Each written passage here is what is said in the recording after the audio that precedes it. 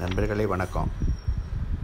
இன்றைக்கி நம்ம ஒரு கேள்வி பதில் நிகழ்ச்சிக்கு போக போகிறோம் நம்ம சரவணாயிட்ட ஒரு லேடி என்னை கேட்குறாங்க ஐயா எதை புரிஞ்சுக்கிட்டால் மற்ற எல்லாத்தையும் புரிஞ்சுக்கிட்டதாகுமோ அதுதான் இந்த ஞான புரிதல்னு சொல்லி பகவத்தையோட நூலெல்லாம் சொல்கிறாங்க மேலும் புரிதல்னால நம்மளுக்கு நாமே சுய வழியாக செயல்படணும்னு கூட சொல்கிறாங்க புரிதலுக்கு அப்புறமேட்டு நம்மளுக்கு குருவோட உதவியோ இல்லை வழிகாட்டுதலோ இல்லை யாரோட உதவியுமே தேவைப்படாதுங்களா? அது எப்படிங்க சாத்தியம்? கொஞ்சம் விளக்கமாக சொல்ல முடியுமான்னு சொல்லிட்டு நம்ம சரவணன்ட்ட கேட்குறாங்க இந்த கேள்விக்கு வந்து பகவத்தையா ஒரு லேடிக்கு சொன்ன பதிலே விடையாக இருக்கும்னு நினைக்கிறேன்னு சொல்லிட்டு இனி ஐயா அந்த லேடிகிட்ட எப்படி பேசினாங்கிறது சொல்கிறாங்க பல அந்த அந்த லேடி கேட்குறாங்க ஐயாட்ட.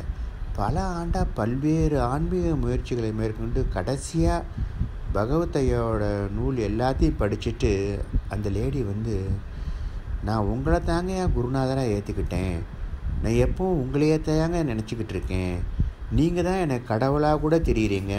அப்படின்னு அவங்க பாட்டுக்கு பகவத்தையோட்ட பேசிக்கிட்டே இருக்காங்க. இதெல்லாம் சரி சரின்னு கேட்டுக்கிட்டே இருந்தாங்க வந்து ஐயா நீங்களாம் அப்படி நினைக்காதீங்க. உங்களுக்கு அப்படி நினைவு வந்தால் வந்துட்டு போட்டோம். நீங்களா மட்டும் அப்படி நினச்சிக்கிட்டு இருக்க வேண்டாம்னு சொல்லி பகவத்தையா சொல்லிடுறாரு. இப்போ அந்த லேடி வந்து தன்னோட ஃப்ரெண்டு சொன்னதை ஐயாட்ட ஒரு சந்தேகம் கேட்குறாங்க அதாவது குருநாதர் என்ன சொல்கிறாரோ அவங்க சொல்கிற ஒவ்வொரு வார்த்தையும் கேட்டு தான் நடக்கணும். நீயா வேறு ஒன்றும் செஞ்சிடக்கூடாது அப்படின்னு சொல்கிறாங்க அப்படித்தான் நான் நடந்து கொள்ளணும் ஐயா அப்படின்னு சொல்லி அவங்க கேட்குறாங்க அதுக்கு ஐயா சொல்கிறாரு அது அந்த கால பாரம்பரியம். இப்போல்லாம் அப்படி கிடையாதுன்னு சொல்லிட்டு ஒரு சின்ன எக்ஸாம்பிள் கூட சொல்கிறாங்க இப்போ நம்மளுக்கு அறிமுகம் இல்லாத ஒரு இருட்டான வீட்டில் சுவிட்ச் பாக் இருக்கிற இடத்த காட்டித்தரதுக்கு நம்மளுக்கு ஒருத்தர் தேவைப்படுறாங்க. அவர் தான் குருங்கிறவர். இருளாக இருக்கிற அந்த வீட்டில் நீங்கள் உள்ளுக்குள்ளார முதல்ல போங்க. இடது பக்கம் போன பிறகு அப்படியே போயிட்டு இருந்தீங்கன்னா வலது பக்கம் கடைசியாக போய் கையை உதச்சினிங்கன்னா அங்கே சுவிட்ச் பாக்ஸு நம்ம கைக்கு தென்படும். சுவிட்சு பாக்கு தென்பட்ட பிறகு அதில் இருக்கிற சுவிட்சை ஆன் செய்யுங்க. அப்புறம் அந்த இருண்ட வீடு அப்படியே வெளிச்சத்துக்கு வந்துடும் வெளிச்சத்துக்கு வந்ததுக்கப்புறமா வீட்டில் எது எது எங்கே எப்படி இருக்குன்னு உங்களுக்கே நல்லா தெரிய ஆரம்பிச்சிடும் வெளிச்சமான அந்த வீட்டில் எது எது எங்கே இருக்குதுன்னு யாரும் உங்களுக்கு சொல்லித்தர தேவையில்லை. இந்த மாதிரி தான் குருங்கிறவர் கூட இருட்டான வீட்டில் சுவிட்சு பாக்ஸ் இருக்கிற இடத்த காட்டி கொடுத்து சுவிட்சை ஆன் செய்கிறதுக்கும் காட்டி கொடுக்குறாரு. அதுக்கப்புறமா அந்த வீட்டில் வெளிச்சம் வருது. வெளிச்சம் ஏற்பட்டதுக்கு அப்புறமேட்டு உங்களுக்கே எல்லாம் தெரிஞ்சு போயிடுது. அந்த அளவுக்கு தான் குருவோட தேவை இந்த இடத்துல இருக்குது. உங்களுக்கு சுவிட்சை ஆன் செய்ய தெரிஞ்சதுக்கு அப்புறமேட்டு அதாவது வெளிச்சம் வந்ததுக்கு அப்புறமேட்டு குரு வந்து அந்த இடத்துல தேவையே கிடையாது அப்படின்னு ரொம்ப ரொம்ப சிம்பிளாக பகவத்யா சொல்லிவிட்டார். இந்த உதாரணத்து மூலமாக நம்ம என்ன தெரிஞ்சுக்கிறோன்னு பார்த்தீங்கன்னா பகவத்தையா வந்து அவங்க கிட்டத்தட்ட ஐம்பது வருஷ காலம் கடும் பாடுபட்டு பல இடங்களில் முட்டி மோதி அடிபட்டு அதுக்கப்புறமா இந்த இருண்ட வீட்டில் சுவிட்ச் ஆன் பண்ணி வெளிச்சத்தை கண்டு நடைமுறைவால் அதன் பயனை முழுசாக உணர்ந்துருக்கிறாரு. தான் உணர்ந்தது மட்டும் இல்லாமல் நம்ம போலவே பலரும் இந்த இருண்ட வீட்டில் சுவிட்ச் பாக்ஸ் எங்கே இருக்குன்னு தெரியாமல் தட்டு தட்டு மாறாங்களேன்னு தெரிஞ்சுக்கிட்டு அவங்களுக்கும் இந்த சுவிட்சை ஆன் பண்ணுறது எப்படின்னு சொல்லி மற்றவங்களுக்கும் அவங்களோட மன நிலைமைக்கு தகுந்த மாதிரி இறங்கி வந்து தெரியப்படுத்துறது தான் இங்கே ஐயாவோட சிறப்பு அம்சமாக கூட இருக்குது.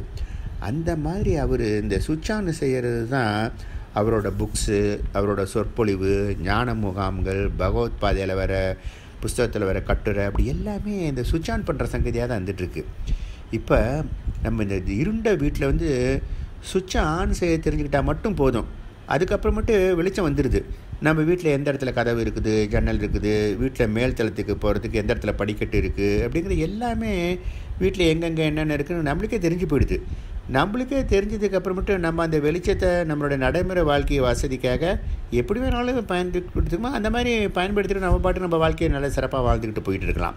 இந்த புரிதலை தான் ஐயா வந்து சுச்சான் ஆன் செய்கிறது அப்படின்னு சொல்லி சொல்கிறாரு எப்போ வந்து நம்ம புரிஞ்சுக்கிறோமோ அதுக்கப்புறமேட்டு அந்த வெளிச்சங்கிற புரிதல் வந்துடுது புரிதல்னால நமக்கே எது சரி எது தவறு அப்படிங்கிறது நல்லா நம்மளுக்கே தெரிஞ்சு போயிடுது. இப்படி நமக்கே நல்லா தெரிகிறது தான் சுய ஒளின்னு கூட சொல்கிறாங்க நமக்கு நம்மளுடைய புரிதலே வந்து சுய ஒளியாக செயல்பட்டு நம்முடைய நடைமுறை வாழ்வில் காலையில் கண்ணு முழிச்சதுலேருந்து ராத்திரி படுக்க போகிறது வரைக்கும் நம்ம எதிர்கொள்கிற எல்லா நிகழ்ச்சிகள்லேயும் அதுக்கு நம்ம எப்படி நடந்துக்கணும் அப்படிங்கிறத நம்மளுடைய புரிதலே புரிதலே நம்மளுக்கு ஒரு சுய ஒளியாக இருந்த இடத்துல வழிகாட்ட ஆரம்பிச்சிடுது இப்படி நம்ம சந்திக்கிற நடைமுறை நிகழ்ச்சி எல்லாத்துலேயுமே நம்ம செய்கிற செய்கிற எல்லாத்தையும் சரியாகவும் நிறையவும் நம்ம செஞ்சுக்கிட்டு போயிட்டே இருக்கோம். சிலதில் தவறு கூட வந்துடும் நம்ம சந்திக்கிற தவறே கூட அடுத்தடுத்து அந்த சூழ்நிலையை எப்படி எதிர்கொள்கிறது அப்படிங்கிறதுக்கு நம்மளுக்கு ஒரு அனுபவ படமாக கூட அந்த இடத்துல அமைஞ்சு போயிடுது. இப்படி இந்த புரிதல்னால நம்ம வந்து நம்முடைய பழைய நிலையிலேருந்து கொஞ்சம் கொஞ்சமாக நம்மளுடைய சரியான செயல் மூலமாக அப்படியே மேம்பட்டு உயர்ந்த நிலைக்கு அப்படியே உடஞ்சிக்கிட்டு போயிட்டே இருக்கும். புரிதல்னால நம்மளுக்குள்ளார் ஏற்படுற இந்த தேவையில்லாத மனப்போராட்டம்லாம் கூட அப்படியே முடிவுக்கு கூட வந்துடுது. நமக்குள்ளார இந்த தேவையில்லாத மனப்போராட்டம் குறைய குறைய நம்மளாக செய்கிற தேவையில்லாத செயலெல்லாம் கூட குறைஞ்சிக்கிட்டே வருது. நம்மளாக செய்கிற மற்ற செயலெல்லாம் கூட ஒரு ஒழுங்கும் நேர்த்தியும் கூட தானாகவே மாற்றம் ஏற்பட்டுக்கிட்டு தான் இருக்குது. காலப்போக்கில் நம்மளோட பெரும்பாலான செயலில் பார்த்திங்கன்னா ஒரு ஒழுங்கும் நேர்த்தியும் அப்படியே அமைஞ்சு போயிடுது. இப்படி மாற்றம் ஏற்படுறதுனால நம்மளுக்கு தெரியாமலேயே கூட நம்மளுடைய இயல்பு கூட அப்படியே மாறி போயிடுது.